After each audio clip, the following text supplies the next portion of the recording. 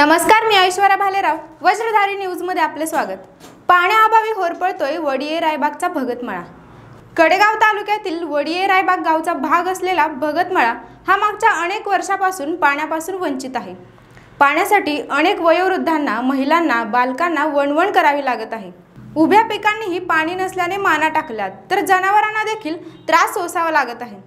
गंभीर बाब म्हणजे भगतमळ्यातील प्राथमिक शाळेत देखील पाण्याचा टाक नसल्याने विद्यार्थ्यांचे पालक रोज एक कळशी भरून शाळेत आणतात आजूबाजूच्या गावात किंबहुना भगतमळाच्या गावचा भाग आहे. ते म्हणजे वडियेरायबाग या गावात पाण्याची कोणतीच कमतरता नसताना आम्हालाच पाण्यापासून का उपेक्षित ठेवण्यात येत आहे असा सवाल गावकरी करत आहेत.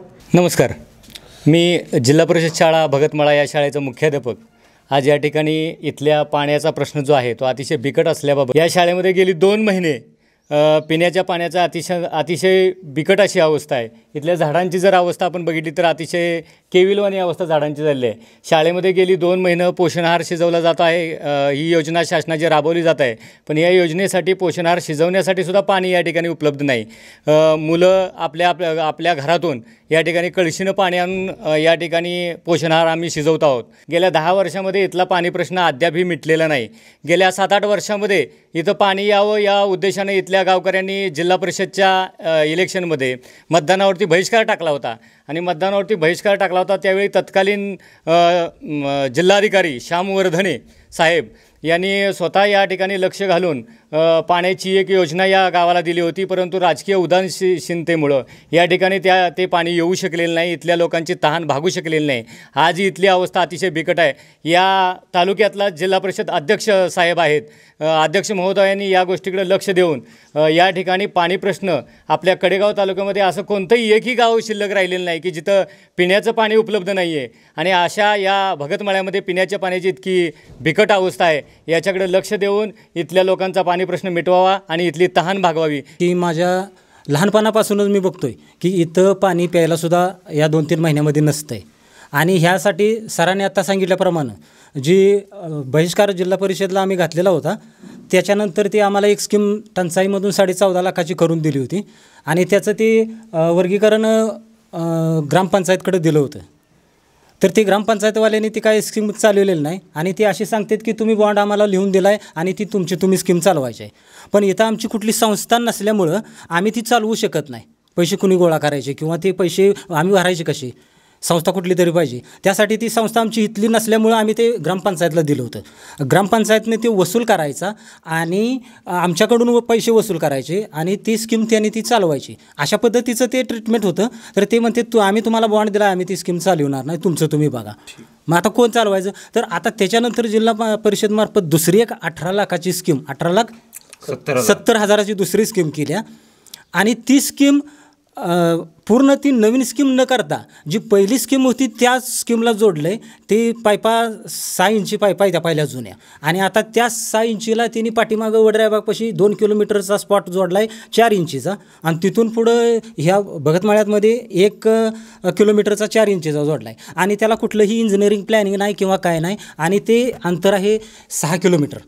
आणि ते काय पाणी येऊ शकत नाही इथं. आणि ते सांगतात आम्हाला सा तुमची अठरा लाख सत्तर हजाराची स्कीम करून दिल्या. आणि एक टाकी चाळीस हजार लिटर पा पाण्याची टाकी आहे ती एक टाकीसुद्धा ती पाण्याची भरलेली नाही. तर एवढ्या दोन स्कीमा बत्तीस लाखाच्या दोन स्कीमा करूनसुद्धा जर भगतमाळ्याला पाणी प्यायला नसेल तर हा भगतमाळ्यातल्या लोकांनी कसं दैनंदिन जीवनात हे करायचं?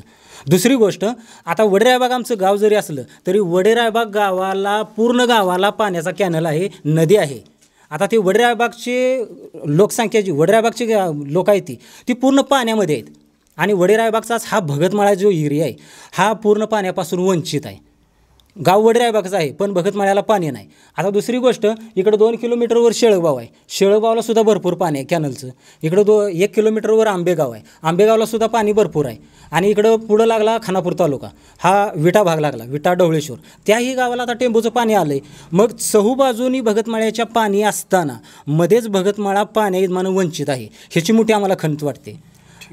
आणि आत्ताच आसपासच्या विहिरीत कुठल्याही पाणी नाही आणि गेले दोन महिने झाले भगतमाळ्याला प्यायला पाणी नाही आणि ग्रामपंचायतचं इकडं पूर्ण दुर्लक्ष आहे. आणि दुसरी गोष्ट अशी की ग्रामपंचायतचं दुर्लक्ष असून इथं पाण्याशिवाय काही चालत नाही ना. बाबा नेमके काय समस्या आहे इथं? पाणी नाही. दोन महिनं झालं. काय करायचं आहे? सांगा की. कवापासून ही समस्या आहे? हा आता ही समस्या आता बरेच दिवस झाले तशी आहे पण आता ह्या कमीत कमी ह्या स- चार महिन्यात तरी नाहीच म्हणा. आणि पहिल्या आधीवर पाच सात वर्ष अशीच गेली होती. वर्षाला अशीच बॉम्ब आहे आमच्यात. तीन महिने फक्त हां वर्षातून फक्त तीन महिन्यात पाणी येते पुन्हा पाणीच नाही. आमच्या गावात वर्षातून दोन ते तीन वेळा पाणी येते. तीन महिना. तीन महिने फक्त येते. बाबा काय? काय पाणी टंचाई आहे? म्हातारी कोतारी माणसं पडायला लागली हिरवणी वाट्याने येता जाताना ठेस काढून आपटते जाणार ह्याला जबाबदारी कोण आहे? ह्याचा विचार केला पाहिजे बाळा नळाला पाणी येतं का? नाही. अजिबात येत नाही? तुम्ही शाळेत शाळेत जातो तू? अं, शाळेत असते का पाणी? नाही. बाबा काय? पाण्याची टंचाई आहे. अं, पहिलं पंधरा दिवसातनं दोनदा सुटायचं तीनदा बंद चारदा बंद मोटरची गडबड ह्याची गडबड वा पाणीवाला बी सोडणार नाही. परत पाणीवाल्याला दोन दिवस सुट्टी. त्यातनं हे आता तीन महिन्यात तरी कसलंच पाणी नाही.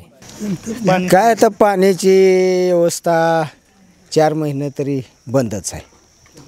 कधी आलं तर सोडणार नाही तर नाहीच. ही पाणी सोडणार कामगार आहेत बरं पाणी सोडणार आता स्कीम केल्या सगळं झालंय. पण आता काहीतरी आडव्या तिडव्या कोण पाईपलाईनी करणाऱ्या काय फुटतूट होती ते दुरुस्त करून त्यांचं काम आहे करून घ्यायचं.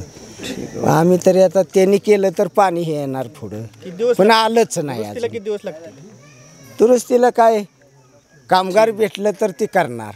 तसेच वारंवार तक्रारी करून देखील कुठलीच दखल प्रशासन आणि ग्रामपंचायतीने घेतली नसल्याचे यावेळी बोलताना गावकऱ्यांनी सांगितले. इथून पुढे लवकरात लवकर आमच्या पाण्याची समस्या सोडवावी अशी मागणीही करण्यात आली.